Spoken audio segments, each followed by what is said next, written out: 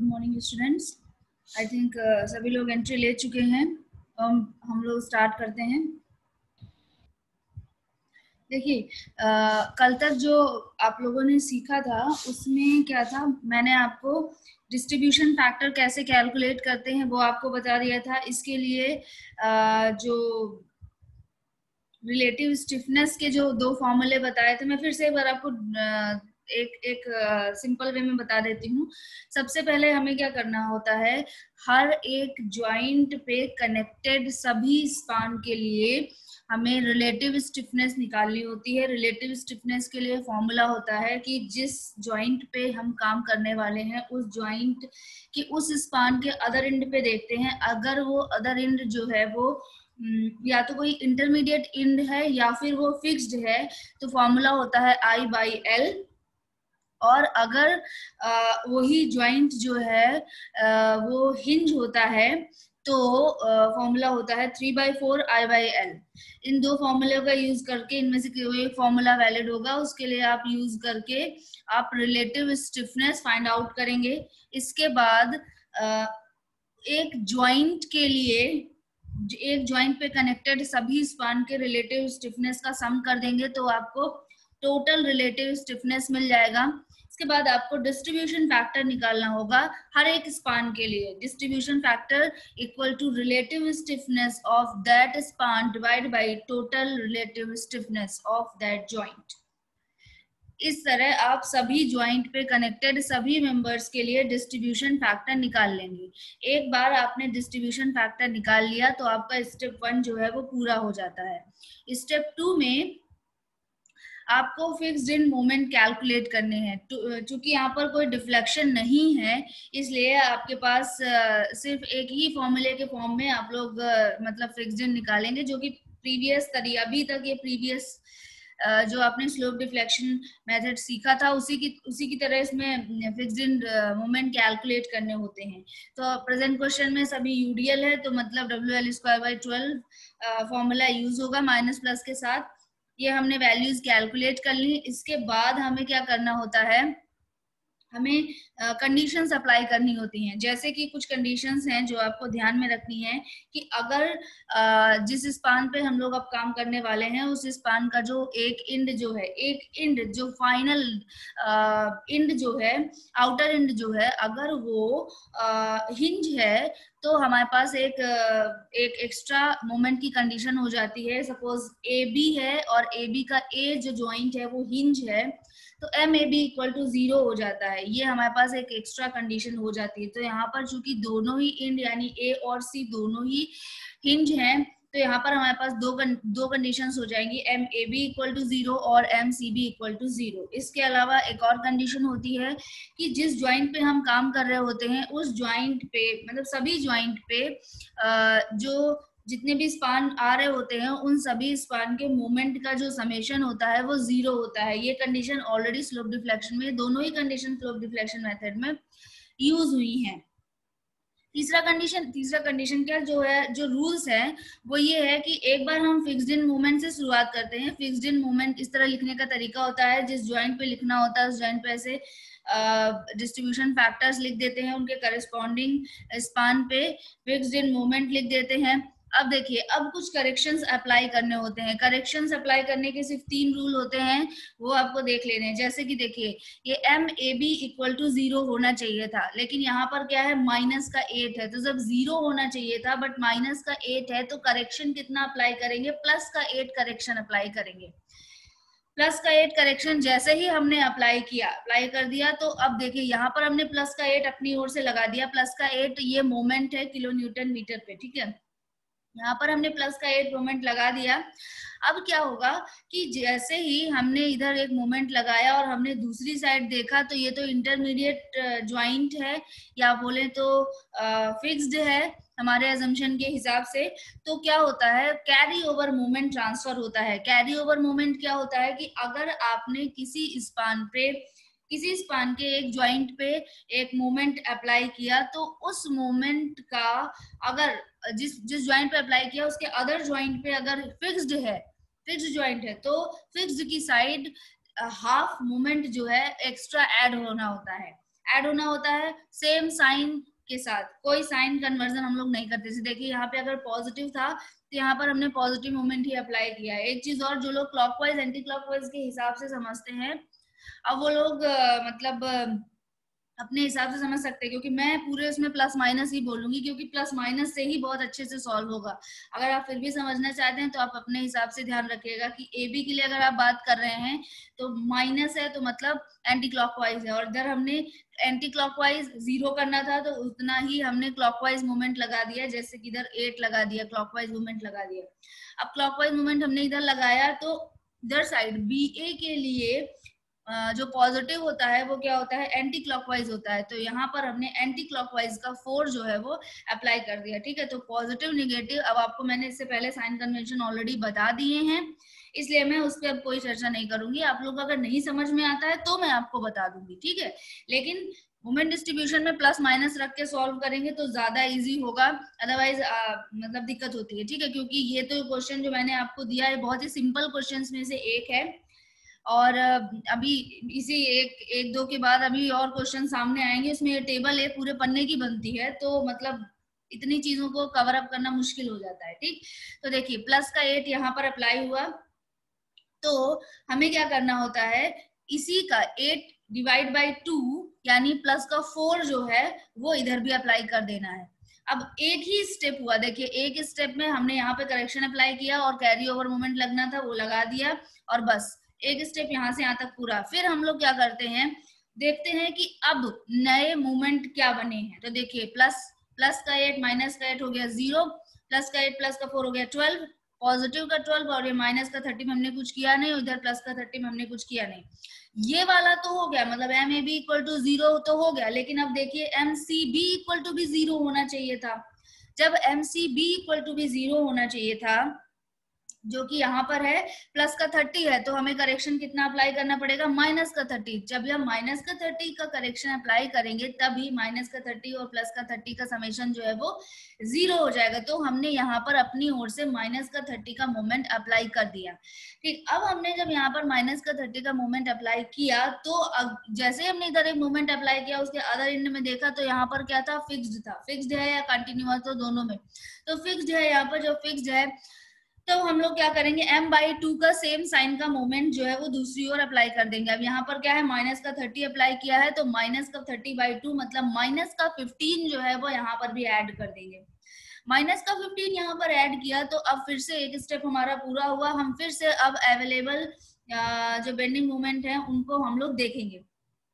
इस पे कुछ करेक्शन हुआ नहीं, इस पे कुछ करेक्शन हुआ नहीं, ये एज इट इज़ रहेगा। इसमें देखिए, ये दोनों प्लस हो जाएँगे तो बचा क्या? माइनस का फोर्टी फाइव और ये दोनों कैंसिल हो जाएँगे और हो जाएगा ज़ीरो तो मतलब देखिए M A B equal to zero हो गया। एक स्टेप एक चीज़ हमारी अब कंफर्म हो गई। अब दूसरी देखिए M C B equal to भी ज़ीरो हो गया है। तो मतलब दो चीज़ें तो हमारी कंडीशन तो सेटिस्फाई हो गई। अब तीसरा रूल क्या था कि एक एक ज्वाइंट पर कनेक्ट होने वाले सभी स्पान का जो समेशन होता है, वो ज़ीरो होना चाहिए, ठीक है? तो अब देखते हैं इस जगह पर क्या है, इस जगह पर क्या सिचुएशन है। इस जगह पर जो सिचुएशन है, उसमें हमने दोनों को प्लस किया। दोनों को प्लस करने पर जो वैल्यू आई, दोनों को प्लस करने पर जो वैल्यू आई है, वो क्या है ट्वेल्व माइनस फोर्टी फाइव है मतलब कि माइनस का थर्टी थ्री आया है। लेकिन हमें यहाँ पर तो ज़ीरो चाहिए था। तो माइनस का थर्टी थ्री जब है और हमें चाहिए ज़ीरो तो ऑब्वियसली जो करेक्शन अप्लाई होगा वो प्लस का थर्टी थ्री होगा। तो यानी प्लस का थर्टी थ्री जो है, वो मोमेंट जो है, वो इस बी पर बी ज्वाइंट पर अप्लाई होगा। ठीक है? अब ये जो बी ज्वाइंट पर प्लस का थर्टी थ्री मोमेंट अप्लाई हुआ है, ये मोमेंट बी ए और बी सी दोनों में डिस्ट्रीब्यूट होगा।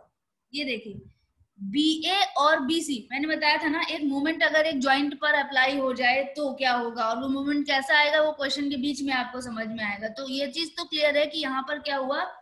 बी ज्वाइंट पर 33 किलो न्यूटन मीटर का एक मोमेंट हम अप्लाई कर रहे हैं। लेकिन अब वो बी ए और बी सी में किस रेशियो में टूटेगा? ये जो डिस्ट्रीब्यूशन फैक्टर है, उस रेशियो में टूटेगा। तो मतलब एम बी सी में कितना ऐड होगा? 33 multiplied by two divide by five यानी कि 13.2 पॉजिटिव का 13.2 तो देखिए, ये पॉजिटिव का 13.2 जो है, वो यहाँ पर ऐड किया गया है एम बी सी में, ठीक? अब देखिए, जो थर्टी थ्री था थर्टी थ्री का three by five thirty three multiplied by three divide by five मतलब कि पॉजिटिव का 19.8 देखिए पॉजिटिव का 19.8 जो है वो हमने इधर साइड अप्लाई कर दिया, ठीक? मतलब कि जो 33 था वो पूरी तरह से क्या हो गया हमने यहाँ पर दोनों स्पान में हमने भेज दिया। मतलब ज्वाइंट पे जो मूवमेंट आया था वो इधर और इधर डिस्ट्रीब्यूशन फैक्टर के हिसाब से डिस्ट्रीब्यूट कर दिया गया। एक स्टेप और पूरा हुआ। तो अब हम लोग क्या करते हैं? फिर से इसको जोड़ते हैं। जब जोड़ते हैं तो देखिए इन दोनों को प्लस करने पर इधर 31.8 आया पॉजिटिव का और इधर क्या आ गया? माइनस का 31.8 आ गया। ठीक है? तो ये तो एक बहुत छोटा सा क्वेश्चन था, इसलिए इतने कम स्टेप में ये सॉल्व हो गया और हमारी तीनों कंडीशंस जो है वो सेटिस्फाई हुई। हमारी तीन कंडीशंस क्या थी? M A B equal to zero हो गया zero M C B equal to zero वो भी ज़ीरो हो गया। और हर एक ज्वाइंट पे जो मोमेंट है, उनका समेशन जो है वो ज़ीरो होना चाहिए। तो देखिए 31.8 और माइनस का 31.8 और ये हो गया ज़ीरो समेशन ज़ीरो हो गया। तो मतलब ये जो लास्ट में जो आपको मोमेंट मिल जाते हैं, यही आपके इन मोमेंट होते हैं। ठीक है तो मोमेंट डिस्ट्रीब्यूशन मेथड जो है वो बस यहीं पे खत्म हो जाता है। लेकिन आप लोगों को जो काम दिया जाता है, जो क्वेश्चन आपसे पूछे जाते हैं, उसमें आपको पूरा बेंडिंग मोमेंट डायग्राम बनाने को बोला जाता है और पूरा शेयर फोर्स डायग्राम बनाने को बोला जाता है। ठीक है तो इंड मोमेंट तो आपने निकाल लिया, लेकिन उसके बाद जो मतलब बेंडिंग मूवमेंट डायग्राम बनाने के लिए आपको पता है इंड मूवमेंट के साथ साथ आपको सिंपली सपोर्टेड बेंडिंग मूवमेंट भी चाहिए होते हैं। तो सिंपली सपोर्टेड बेंडिंग मूवमेंट आपको निकालने आते हैं। एकदम पहले की तरह ही निकालेंगे, जैसे यूडीएल है तो W L square by eight रहेगा मिडिल पे रहेगा बेंडिंग मोमेंट मैक्सिमम ठीक है? फिर हम पहले की तरह ही ओवरलैपिंग करेंगे इंड मोमेंट और सिंपली सपोर्टेड बेंडिंग मोमेंट की ओवरलैपिंग करेंगे, जिस जगह पर ऑर्डिनेट ज़रूरी है, उस जगह पर ऑर्डिनेट को शो करेंगे और प्लस माइनस के हिसाब से उनको कलर कर देंगे, ठीक है? तो जो हेड पोर्शन होता है, वही पोर्शन आपका बेंडिंग मोमेंट डायग्राम को रिप्रेजेंट करेगा। शेयर फोर्स डायग्राम के लिए भी सेम रूल्स होते हैं, जो पहले मैंने आपको बताया कि डायग्राम बनाएँगे इंड मूवमेंट लगाएँगे साइन का साइन कन्वेंशन के हिसाब से इंड मूवमेंट लगेंगे। इंड मूवमेंट लग जाने के बाद हमें रिएक्शन फाइंड आउट करने होते हैं रिएक्शन फाइंड आउट हो जाएँगे। तो उसके बाद हमें शेयर फोर्स बना शेयर फोर्स निकालने होते हैं पॉइंट पर फिर शेयर फोर्स डायग्राम बना देना होता है, ठीक है? तो अब इसके बाद का काम जो है वो आप खुद करेंगे। मैंने जितना आपको बताया उसका एक्सप्लेनेशन भी पूरा लिखा हुआ है। और आपको भी क्वेश्चन में भी एक्सप्लेनेशन लिखना पड़ता है। जो ये टेबल है, उस टेबल को बना देकर, छोड़ देने से काम नहीं चलेगा। इसका एक्सप्लेनेशन भी देना होता है। तो जो मैंने बोला है, मैंने वही चीज़ें एक्सप्लेनेशन के फॉर्म में लिखी हैं। आप लोग देख लीजिएगा। इसको भी। ठीक है। तो देखिए, जो फाइनल एंड मोमेंट हमें मिले, वो ये मिले। अब हमें क्या करना है? नेक्स्ट स्टेप में हमें simply supported bending moment calculate करनी है। तो देखिए सिंपली सपोर्टेड बेंडिंग मोमेंट के लिए ए बी स्पान है। इसको मैं पूरा बता देती हूँ, और इसके बाद वाले उसमें फिर आप लोग सॉल्व करेंगे। वैसे तो ये आप लोग खुद ही कर सकते हैं, खुद करिए। ठीक है। ये देखिए, ये स्पान आपके सामने है, ए बी, जिसमें से सिक्स आपको बेंडिंग मोमेंट मैक्सिमम कैलकुलेट करना है। कैलकुलेट करिए और मुझे आंसर बताइए। ठीक है, देखिए ए बी स्पान है ए बी स्पान में ये जो सिक्स एंड फोर जो है सिक्स का six kilo newton per metre का यूरिया लगा हुआ है फोर मीटर का स्पान है। और अब आपको इसमें बेंडिंग मोमेंट मैक्सिमम कैलकुलेट करना है। W L square by eight formula होता है कैलकुलेट करिए। डब्ल्यू है क्या है? सिक्स है मतलब सिक्स मल्टीप्लाइड बाई फोर का स्क्वायर डिवाइड बाई एट बताइए सॉल्व करके इतना तो आप लोग कर ही सकते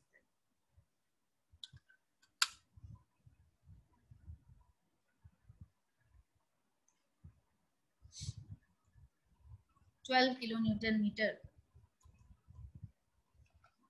ठीक है। अब आप लोग एम बी सी कैलकुलेट करिए। उसमें भी formula W L square by eight ही रहेगा। हम्म, ठीक ठीक ठीक। सही है? अब आगे फॉर्मूला दूसरा बताइए।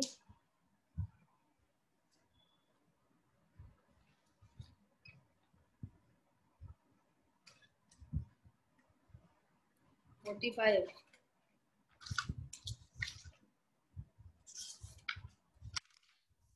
गुड, सही आंसर है। ठीक है तो देखिए, जिन लोगों का नहीं आया होगा, वो लोग देख लीजिए।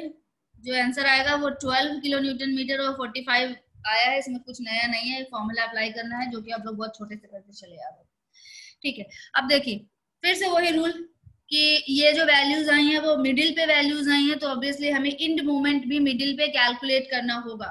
जब हमें इंड मोमेंट मिडिल पे कैलकुलेट करना होगा तो जब ए बी स्पान के लिए देखेंगे तो ए बी स्पान पे A B M A B equal to zero है और M B C equal to है प्लस का थर्टी वन पॉइंट एट तो अब हमें इसके मिडिल पर ऑर्डिनेट चाहिए। ये देखिए ज़ीरो है, इधर थर्टी वन पॉइंट एट है, हमें मिडिल पे ऑर्डिनेट चाहिए और सेम इधर भी, इधर ज़ीरो है, इधर थर्टी वन पॉइंट एट है, हमें मिडिल पे ऑर्डिनेट चाहिए। बताइए कितना आ रहा है? X by two equal to thirty one point eight divide by four X की वैल्यू बताइए। सॉल्व करिए जल्दी। 15.9 गुड 15.9 आंसर आएगा। अब देखिए मिडिल पे भी आपने ऑर्डिनेट निकाल लिए हैं, जिनका नहीं हुआ है, वो देख लीजिए। ठीक है? अब एक बार जब ऑर्डिनेट आपको मिल गए हैं सभी जगह पे तो अब आप लोग बेंडिंग मोमेंट और बेंडिंग मोमेंट डायग्राम के भी ऑर्डिनेट जो है वो फाइंड आउट कर लेंगे। कैसे करेंगे? देखिए ए पॉइंट पर ए पॉइंट पर ऑर्डिनेट कितना है? Bending moment simply supported bending moment की वजह से भी ज़ीरो है और इंड uh, मोमेंट की वजह से भी ज़ीरो है। मतलब ए पॉइंट पर जो ऑर्डिनेट होगा वो होगा ज़ीरो बी पॉइंट पर जो बी पॉइंट ए बी के मिडिल पे जो ऑर्डिनेट होगा वो देख लेते हैं। तो ए बी के मिडिल पे ऑर्डिनेट शेयर फोर्स डायग्राम की sorry simply supported bending moment diagram की वजह से देखिए मिडिल पे क्या है? ट्वेल्व है। ट्वेल्व है और अभी इंड मूवमेंट की वजह से क्या आया है? फिफ्टीन पॉइंट नाइन आया है। मतलब twelve minus fifteen point nine तो आंसर आया माइनस का थ्री पॉइंट नाइन माइनस का थ्री पॉइंट नाइन मिडिल पे माइनस का three point nine kilo newton metre. ठीक है, अब ऑर्डिनेट की बात आती है बी पर। तो बी पर ऑर्डिनेट क्या है?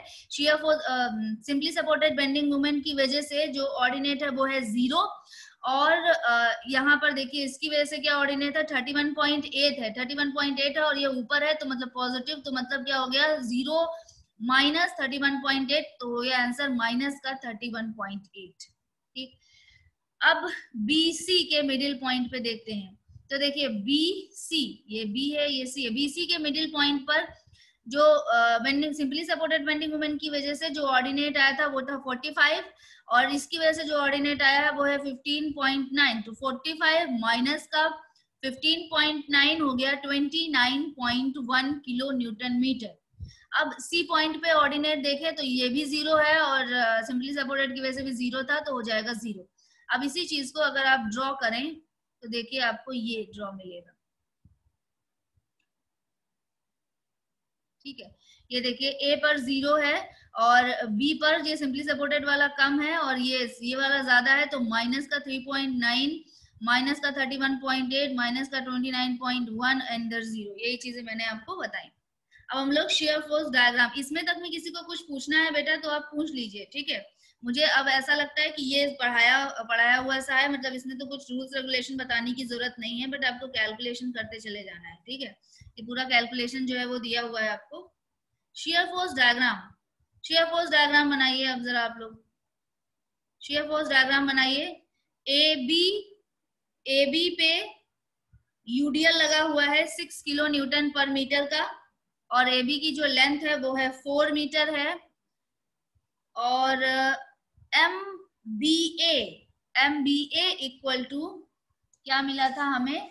M B A equal to हमें मिला था पॉजिटिव का थर्टी वन पॉइंट एट अब बताइए रिएक्शन कैलकुलेट करिए। तो अभी ऑब्वियसली बीबी तो कैलकुलेट होगा नहीं वी ए ही कैलकुलेट होगा। वर्टिकल जो वर्टिकल का जो फोर्स होगा मतलब रिएक्शन एट ए ही हमें फाइंड आउट मिलेगा हमें। तो रिएक्शन एट ए बताइए कितना मिला। रिएक्शन एट ए बताइए कितना मिला? अच्छा कुछ लोगों को कंफ्यूजन अगर ये है कि M B A equal to M B equal to positive है। पॉजिटिव है तो मतलब क्लॉकवाइज क्लॉकवाइज मूवमेंट लगेगा। ये डायग्राम आप लोगों को देख देख, देख लीजिए। ये देखिए ऐसा मिलेगा डायग्राम आपको। नहीं बेटा गलत है बेटा मानसी रानी बेटा answer V A equal to ये नहीं होगा। मैंने वैसे सॉल्व किया है, और एक दो बच्चे इस चीज़ को वेरीफाई कर देंगे तो आपका आंसर गलत है। मेरे से तो डिफरेंट आ रहा है। वी इक्वल टू कैलकुलेट करिए, इतना टाइम नहीं लगता है बेटा। बहुत बड़े बड़े क्वेश्चंस आपको सॉल्व करने के लिए होते हैं। अगर इतने में ही इतना टाइम लगा देंगे तो एक क्वेश्चन क्या एक घंटे में बैठ के करेंगे आप लोग? Four point zero five good सही आंसर बेटा। हाँ ठीक ठीक। आकृति आकांक्षा आप लोगों का सही आंसर बेटा। अब देखिए। जिन लोगों का आंसर नहीं आया है वो लोग देख लीजिए एक बार मैं बता देती देखिए वी ए इसको क्लॉकवाइज को हम positive V A into four ये पॉजिटिव हुआ। और माइनस uh, का six into four into two six into four into इसका सेंट्रॉइड इसका डिस्टेंस हो जाएगा फोर माइनस डाउनवर्ड ये भी क्या होगा ये क्लॉकवाइज क्रिएट करेगा मतलब पॉजिटिव का thirty one point eight solve करेंगे तो फोर पॉइंट ज़ीरो फाइव आएगा। ठीक है, किलो न्यूटन में।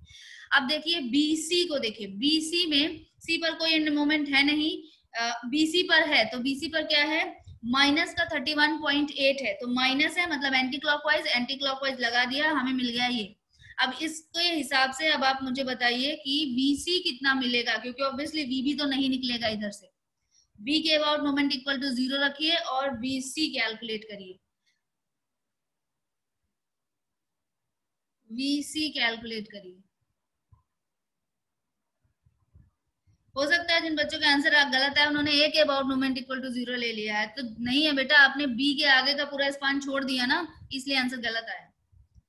तो इसलिए ए के अबाउट मोमेंट नहीं लेंगे बी के अबाउट मोमेंट लेंगे और इधर पूरा स्पान आपको दिख रहा होता है। बताइए वीसी इक्वल टू कितना आ रहा है? रिएक्शन एट सी बी के about moment equal to zero again लेना है। वीसी इंटू सिक्स प्लस का थर्टी वन पॉइंट एट नहीं बेटा आंसर तो गलत है, या तो आपका गलत है, या तो मेरा गलत है। और जहाँ तक मेरा सही होने के चांसेस ज़्यादा है। नहीं, ये आंसर भी सही नहीं है। और आंसर दीजिए, अभी तक दो आंसर मिले हैं और दोनों ही गलत हैं।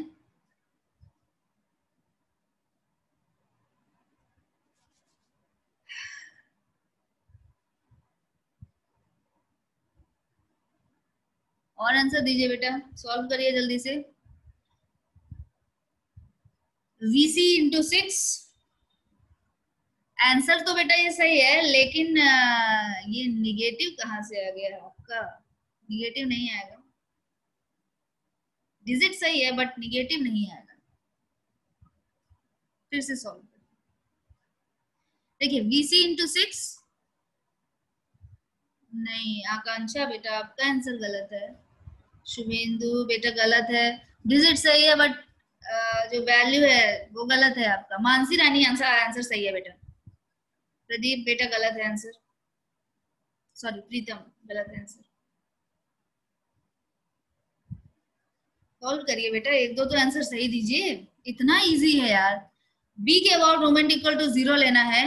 वीसी इंटू सिक्स प्लस का थर्टी वन पॉइंट एट इसी डायरेक्शन में होगा minus ten into six into three VC equal to आ जाएगा ट्वेंटी फोर पॉइंट सेवन इतना इजी होता है बेटा। ये देखिए।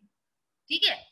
तो आपने वी वी ए निकाल लिया वीसी निकाल लिया। तीसरा रिएक्शन बचा वीबी तो वर्टिकल फोर्सेस का समेशन इक्वल टू ज़ीरो आप ये फॉर्मूला अप्लाई कर दीजिए। और तो यानी V A plus VB plus VC equal to six into four plus ten into six बताइए बीबी कैलकुलेट करिए। बीबी कैलकुलेट करिए तब तक मैं आप लोगों का अटेंडेंस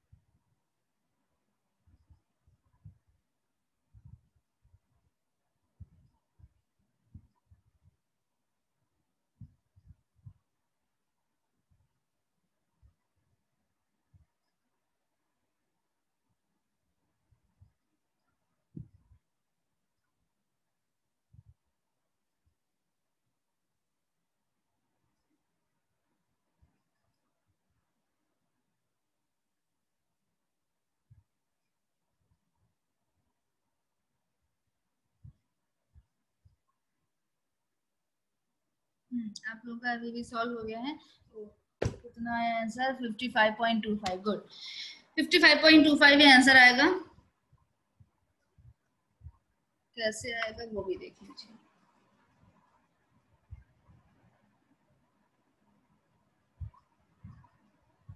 ये देखिए B A plus V plus V C equal to UDL की वजह से लोड और दोनों यूडीएल की वजह से लोड सभी वैल्यूज़ रख दी सॉल्व कर दिया 55.25 आ जाएगा। ठीक है अब हम लोग को क्या करना है? शेयर फोर्स डायग्राम बनाना है। तो शेयर फोर्स डायग्राम बनाते हैं तो शेयर फोर्स के लिए रिएक्शन जो है वो हमने फाइंड आउट कर लिए हैं। अब देखिए ए पॉइंट पर कोई लोडिंग तो स्टार्ट है नहीं तो सिर्फ़ क्या रहेगा? वीए की वजह से ही जो शेयर फोर्स का ऑर्डिनेट बनेगा। और वीए की वीए जो वीए जो आया है, वो कितना आया है? वी भी कैलकुलेट किया था ये। 4.05 4.05 तो वो ऊपर की साइड ड्रॉ कर देंगे। पॉजिटिव वैल्यू है, ये देखिए। ये 4.05 ठीक? बाकी बीच में यूडीएल है ऑब्वियसली हमें पता है ट्रायंगल जो है वो इस तरह कुछ बनेगा। और तो बी के स्टार्ट होने से जस्ट पहले बी के स्टार्ट होने से जस्ट पहले मतलब कि अगर हम अपवर्ड साइड के फोर्सेस को पॉजिटिव माने तो वी ए यानी कि 4.05 माइनस यूडीएल की वजह से लोड तो यूडीएल हमारा है कितना? यूडीएल हमारा है six multiplied by four value आ गई माइनस का 19.95 माइनस का 19.95 इसको जो है हमने यहाँ पर माइनस का 19. अब ये वैल्यू जो है, देखिए कहाँ जाएगी? ये देखिए माइनस का 19.95 ये। यहाँ से यहाँ तक के बीच में लीनियरी वेरिएट करेगी क्योंकि यूडीएल है। अब जैसे ही वो बी को जस्ट क्रॉस करता है तो वीबी भी एक्ट करता हुआ माना जाएगा। तो जब वीबी एक्ट करता हुआ माना जाएगा वीबी की वैल्यू क्या है? पॉजिटिव का 55.25 55.25 सॉल्व किया वैल्यू आ गई 35.3 तो देखिए, ये वैल्यू आ गई यहाँ पर 35.3 ठीक? अब सी सी पे कितना आ जाएगा? 35.3 ऑलरेडी था। यूडीएल की वजह से माइनस का 10 पॉइंट टेन इंटू सिक्स हो गया। वैल्यू आ गई माइनस का twenty four point seven value आ गई यहाँ पर ट्वेंटी फोर पॉइंट सेवन ठीक है। और देखिए वेरीफाई करने के लिए इसी चीज़ को आप वीसी लास्ट में जो आ, वो होता है ना उससे वेरीफाई भी हो जाता है। ये देखिए ट्वेंटी फोर पॉइंट सेवन ठीक है?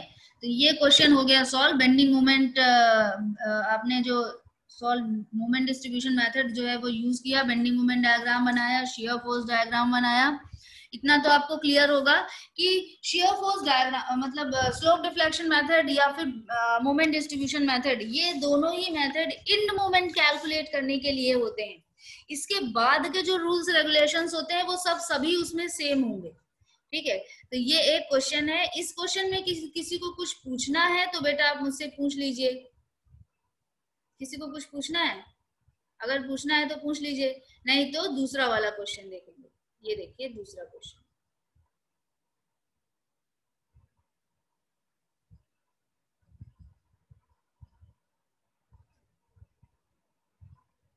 ये लीजिए।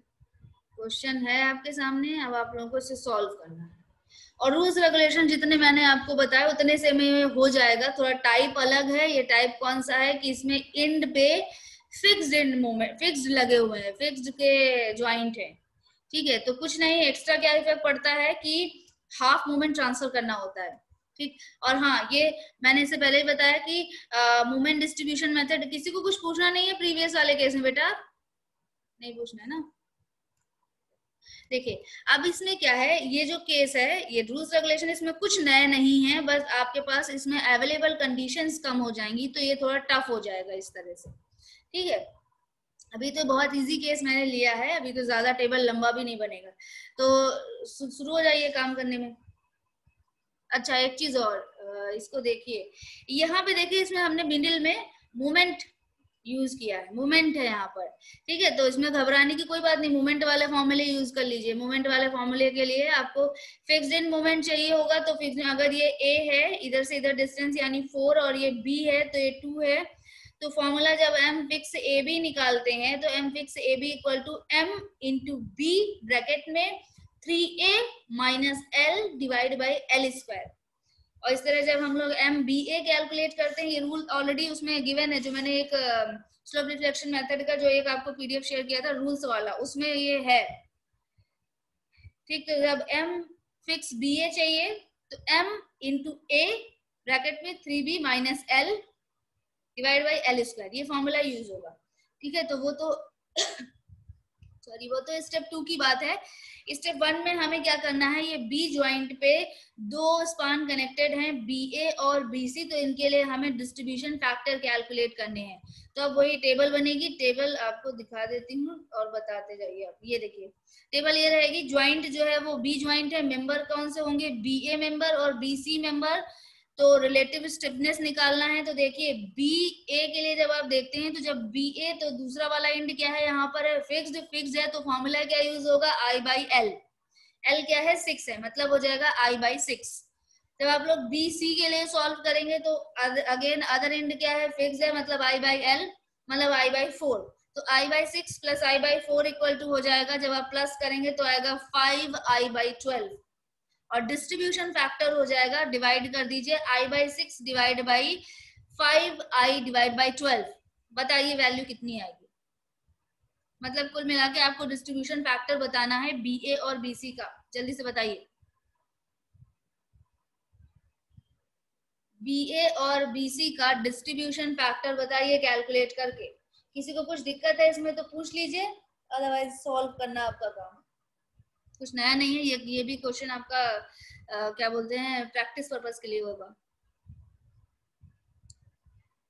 बी ए के लिए आ, नहीं बेटा वन बाई फाइव तो नहीं आएगा। बी ए के लिए वन बाई फाइव नहीं आएगा। ज़ीरो पॉइंट फोर अब ऐसे आंसर दोगे बेटा आप लोग। हाँ आंसर तो सही है आकांक्षा आपका। हाँ देखिए बी ए के लिए जो डिस्ट्रीब्यूशन फैक्टर आएगा वो टू बाई फाइव आएगा और बी सी के लिए ऑब्वियसली दो दो ही स्पान है, दोनों का समेशन इक्वल टू वन होता है तो जब एक के लिए टू बाई फाइव है तो दूसरे के लिए थ्री बाई फाइव होगा और यही चीज़ आपका रेशियो में करके निकलेगा। तो ये देखिए जिनका नहीं सॉल्व हुआ है, वो देख लीजिए। कुछ नया नहीं था। I by L I by L दोनों को प्लस कर दिया प्लस करने पर आया फाइव आई बाई ट्वेल्व अब रिलेटिव स्टिफनेस इसका divide by total equal to two by five relative stiffness इसका divide by five I by twelve three by five आ गया। ठीक है? हमारा डिस्ट्रीब्यूशन फैक्टर कैलकुलेट हो गया, एक स्टेप हो गया पूरा। फिक्स्ड इन मोमेंट कैलकुलेट करिए। फिक्स्ड इन मोमेंट के लिए जो फॉर्मूला है, वो M fix A B equal to M into B bracket के अंदर three A minus L divide by L square बताइए M fix A B equal to क्या होगा?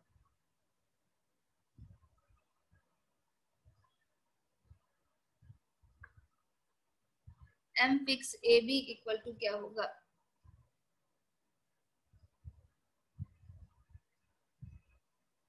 ये क्वेश्चन पूरा आप लोगों को सॉल्व करना है। इसमें बस एक ही नई बात थी कि ये फिक्स्ड एंड थे और ये मूवमेंट वाला केस था।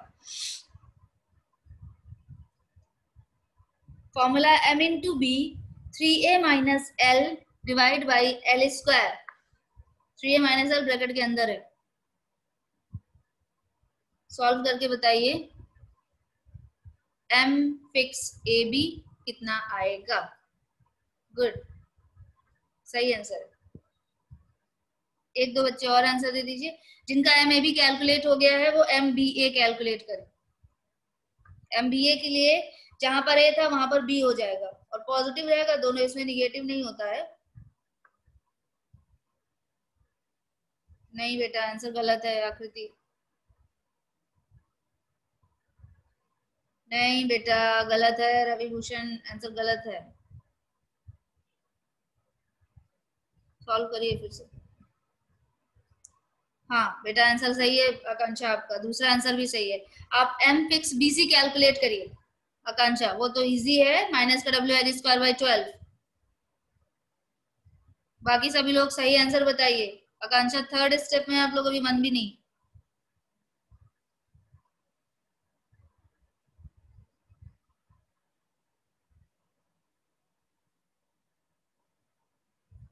जल्दी कैलकुलेट करिए। एक दो आंसर तो सही दीजिए। देखिए फॉर्मूला होता है m इंटू बी ब्रैकेट के अंदर three A minus L bracket close divide by L square. M fix A B जब आप कैलकुलेट करेंगे तो ए की वैल्यू है फोर, बी की वैल्यू है टू और एल की वैल्यू है सिक्स और एम की वैल्यू है one eighty. Good answer. Akanksha सही है। अब आप M C B fix calculate करिए, आकांक्षा। बाकी सभी लोग एम फिक्स ए भी बताइए। अब तो मैंने वैल्यूज़ ही बता दी, बस कैलकुलेट करके आपको कर देना है। गुड आकांक्षा पूरा काम हो गया आपका। फिक्स्ड मोमेंट कैलकुलेट हो गया है आपका तो अब आप टेबल बनाइए, आकांक्षा। एम ए बी आकृति, सही आंसर सही है। एम ए बी सही आंसर है। टाइम तो कम बचा है तो आप लोग देख लीजिए सभी वैल्यूज़ ये देखिए। M B C equal to zero हो जाएगा, बेटा, कैसे? वन ट्वेंटी नहीं आएगा। ये देखिए। M fix A B formula में बता रही थी एम बी थ्री मतलब ये देख लीजिए, आप लोगों को समझ में ही आ जाएगा, ये तो बताने की ज़रूरत ही नहीं है, इनके वैल्यूज़ तो ऐसे आएँगे। इसमें क्या है एम बी बी की वैल्यू क्या थी? टू थी ए की वैल्यू फोर है एल की वैल्यू सिक्स है सॉल्व करेंगे पॉजिटिव का सिक्सटी आएगा, इधर ज़ीरो आएगा माइनस का फोर्टी प्लस का फोर्टी आएगा। ठीक है, अब ये क्लास खत्म हो जाएगी। देखेंगे, अगर कल क्लास रखते हैं तो ठीक है, नहीं तो मंडे क्लास रखेंगे। इसको सॉल्व कर लीजिएगा।